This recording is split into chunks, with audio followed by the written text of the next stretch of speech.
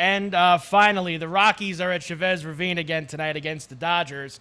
That never goes well for them. Uh, they've got Urena back tonight. White going for the Dodgers. Look at the lumber here, minus 330. This total down to nine, uh, actually up to nine and a half, excuse me, from nine earlier in the day. Yeah, I'm going again with the Dodgers. I'm going to take White and his 3 9 ERA. I think there's going to be a lot of runs in this one as well, Mike. Dodgers always pound the Rockies when they play them at Chavez Ravine. Give me LA and go over.